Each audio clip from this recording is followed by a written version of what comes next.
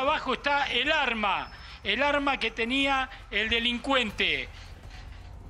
El delincuente ya fue llevado, ya fue llevado de, este lugar en dos patrulleros, salieron raudamente con sirena, hay muchísimos efectivos de la policía de la ciudad, Policía Federal, también trabajando por todo lo que es esta zona de la plaza.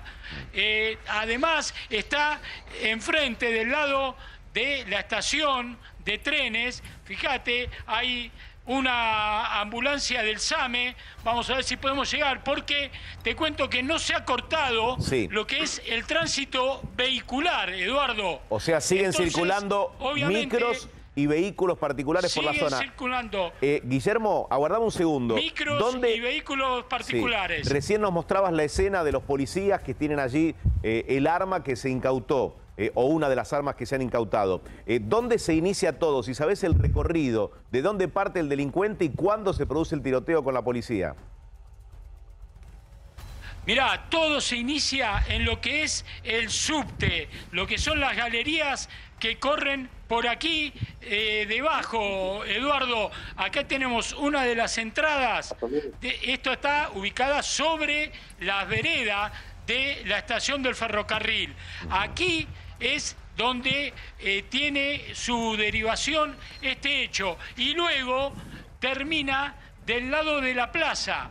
Pero todo en forma subterránea, por donde están, eh, digamos, las plataformas de este subte línea C. Recordamos que une Retiro con Plaza Constitución. En ese lugar donde eh, comenzamos la crónica, Eduardo, que ahora vamos a volver, ahí fue donde se detuvo al delincuente y ahí quedó el arma, ahí terminó el hecho que se desarrolló por aquí debajo, todo lo que es la estación de subte de Retiro, línea C, hacia Plaza Constitución. Guillermo... Tuvo que intervenir un helicóptero, personal del SAME. Sí. Eh, recién contamos acerca de esos primeros movimientos para trasladar al efectivo de la policía que resultó herida. Si querés trasladarte hasta el lugar donde se encuentran otros efectivos que... Ahí estamos yendo.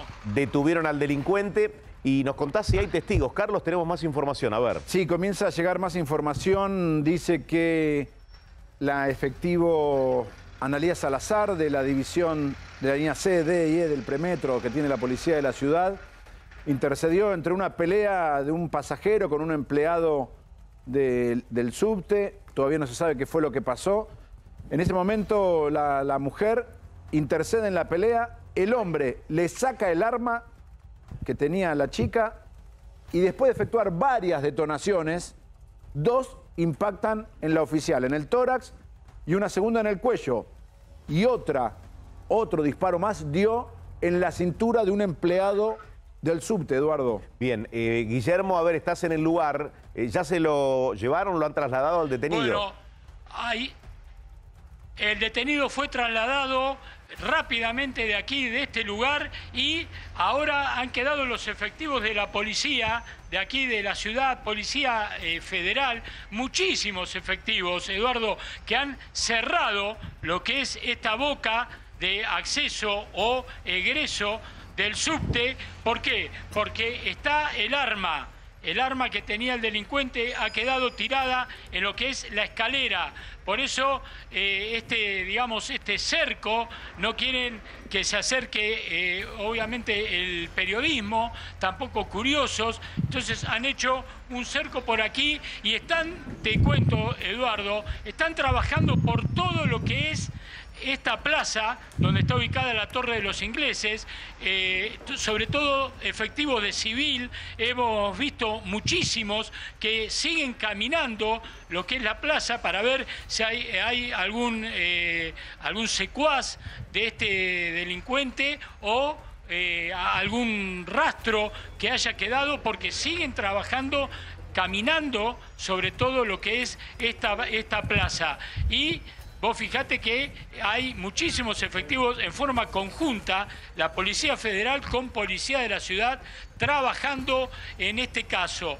Eh, te digo que, eh, bueno, ahora el tránsito no se ha cortado, por lo menos hasta ahora, eh, Eduardo, y se está centralizando todo lo que es el tema peritaje e investigación, donde están los más altos jefes policiales, aquí, en este sector, sobre la plaza, en lo que es la boca del subte.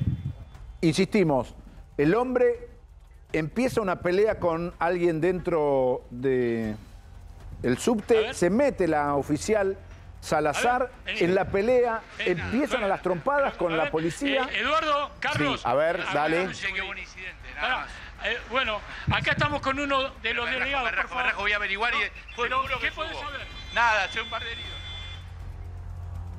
Trabajador del subte también. Uno de los delegados del subte, claro, uno de los delegados eh, estuvo aquí averiguando y bueno, fue a ver del otro lado para ver cómo estaba la situación, porque obviamente esto ha preocupado a todos, está la línea eh, cortada, lo que es eh, Retiro Plaza Constitución totalmente cortada, y, y acá vamos a ver, porque te digo, acá se ha cerrado y se están trabajando los más altos jefes policiales, Eduardo, en este momento están ubicados aquí. O sea, el, centro del operativo está en este lugar. Bien, donde estás ubicado vos, eh, no te vayas, Guille.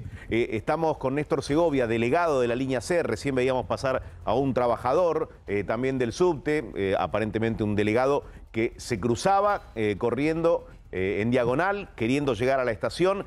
Eh, ¿Qué más tenés, Néstor, acerca del incidente?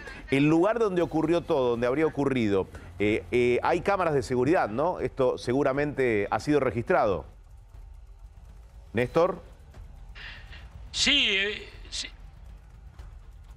Bueno, allí volvemos con, con Néstor Segovia. Sí, Guillermo. No, no, te decía que sí, eh, que en, todo este lugar hay muchísimas cámaras de seguridad en todo lo que es esta, esta zona. Eh, de aquí de, eh, de, retiro, porque estamos enfrente a lo que es la línea Mitre del ferrocarril. Entonces, obviamente que aquí que hay cámaras de seguridad. Mirá, fíjate, ahí le voy a decir a Fabián, una que ha tomado directamente prácticamente todo. Mm. Aquella que está ahí, donde están los carteles que dice Leandro N. Alem, Avenida Maipú. Sí. Fíjate, está, hay cámaras y hay un domo también. En la plaza también, obviamente que eh, están eh, ubicadas cámaras, así que todo ha quedado eh, debidamente registrado aquí en este lugar.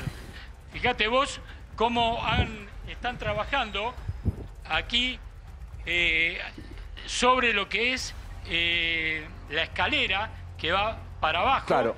Eh, del subte. Están, están trabajando ahí, mira, ahí hay efectivos, porque precisamente se está peritando el lugar donde cayó el arma de este delincuente. Guille, porque mira, acá me llega más información para sumar a lo que vos estás contando en ese lugar, en esa boca de subte, el, hombre este, después de pelear con otra persona dentro del subte, sacarle el arma a esta valiente oficial que se metió a las trompadas a tratar de pararlo y recibe dos impactos de bala, el hombre sale corriendo con el arma de Salazar en la mano y la tira en esa boca de subte. Ahí descarta el arma y sale corriendo y después es detenido por otros efectivos.